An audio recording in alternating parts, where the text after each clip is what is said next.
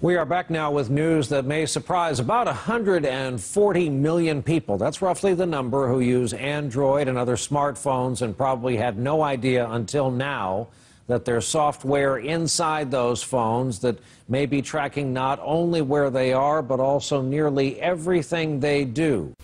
Shalom, and welcome to another episode of GMS Prophecy Soup. Now, today's title is called Smartphones for dumbass Americans. And the reason why I decided to call this that title is because it's very fitting.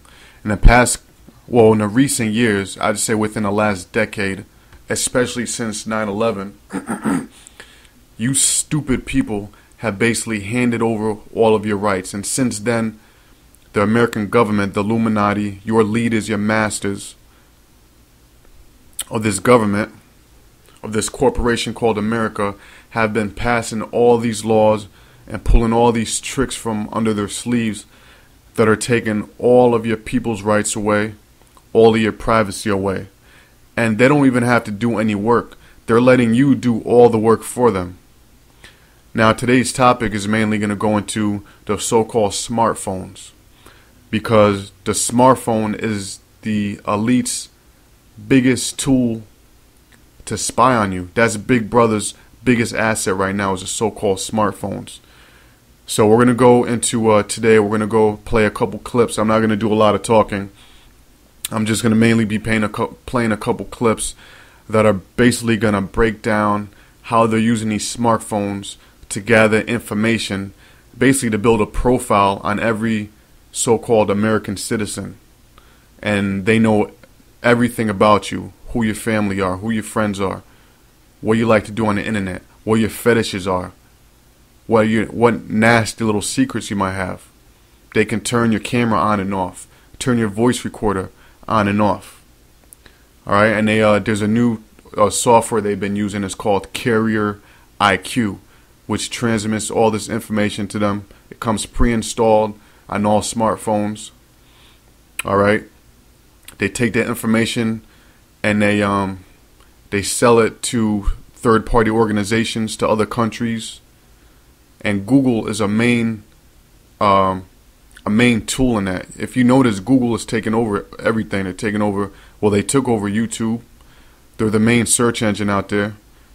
Um, so let's just get right into these clips and uh, I'll be back. Shalom. Whistleblowing website WikiLeaks has begun releasing sensational information on the multi-billion dollar global spying industry. Uh, the database contains hundreds of documents shining a light on the methods being used by secret services all over the world. RT's Laura Smith now joins us live with details. Well, Laura, go on then. Tell us all about these spy files, will you?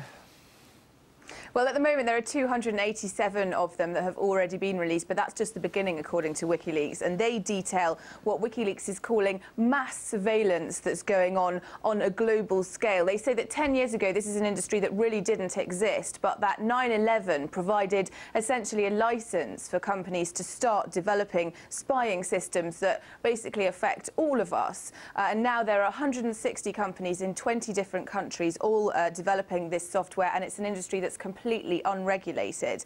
And just to sort of bring it down to the basics, Julian Assange said, you know, he did a quick survey around the room in this press conference that we were at this morning, and he said, uh, who here owns an iPhone or uses Gmail or has a BlackBerry? And everyone put, puts their hands up, and he says, basically, you know, you, you are under surveillance, and that, that is without a doubt. Uh, these systems are able to spy on email, they're able to track, uh, track what you look at on the internet, they're able to track keystrokes of what you search for in a Google search, for example, and that telephones are inherently tracking devices in their own right. You're carrying around a device that enables people to know where you are at any given time. There's also software that can be remotely uh, installed on your telephone uh, to record conversations that you have and also, amazingly, to take photographs uh, of you and whoever you're with and, and send them to, to whoever wants to see them, the relevant agencies. The CIA apparently has is using software which can uh, detect a voice print and match it instantly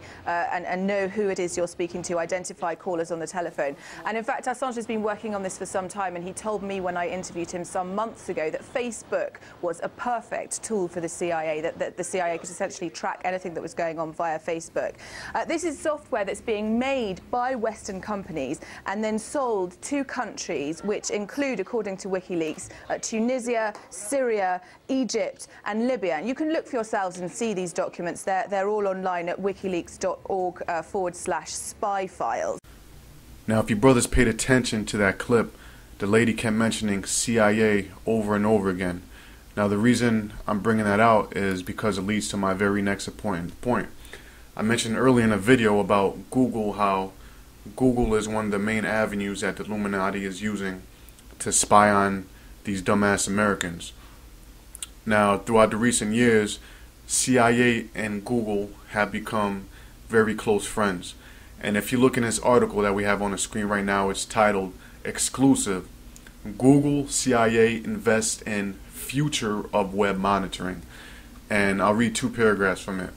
It says the investment arms of the CIA and Google are both backing a company that monitors the web in real time and says it uses that information to predict the future. The company is called Recorded Future and it scours tens of thousands of websites, blogs, and Twitter accounts to find the relationships between people, organizations, actions, and incidents, both present and still to come. In a white paper, the company says its temporal analytics engine, which is uh, what you're watching on the screen right now, this is the actual software that's being used to make this so called predicted future of so called terrorist attacks. And remember, Google is who they use to gather all this information from Facebook, from Gmail accounts, from YouTube accounts. So basically, anything you do on the internet is being uh, spied on and is being recorded. It says um, in a white paper, the company says its temporal analytics engine goes beyond search by looking at the invisible links between documents that talk about the same or related entities and events. Now, another warning for you, brothers. These newer phones are coming out with these 8 megapixel cameras, these 5 megapixel cameras. They take really nice, crispy, clear pictures, but it's not for your enjoyment, it's for the Illuminati's enjoyment, so they could get nice, crispy, clear pictures of what you're doing. And they're even putting on these phones now something called um, front facing cameras where you could do video chat. So, all these so called technology that they're coming out with, people are thinking, oh, I gotta go get this new phone. Oh, this is so cool. This brand new technology but the technology is not for you, it's for them. But my point is, they have something called geotagging on these phones. Every time you take a picture, it tags the picture with the time and location of your phone. I mean, of the picture. And they can actually go on a map or use a radar and zoom in right to the address and the place that you took that picture from.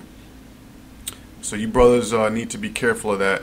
You know, for those of you that like use your camera and to take uh, you know video with your cell phones. RT is sitting down with Stephen Rambam, founder and CEO of Pallorium Inc., a worldwide investigative agency. Steve, thank you very much for sitting down to speak with RT today. My pleasure. For more than a decade, you've been uh, warning the mass public, or at least informing them, that privacy is dead. Get over it. And in that time, people have consciously been putting more and more information about themselves online. What do you think this has done to contribute to your message of privacy being dead? Well, the truth is, people care less and less about privacy, or at least they act as if they do. The greatest amount of data that's being compiled on each of us today is self contributed.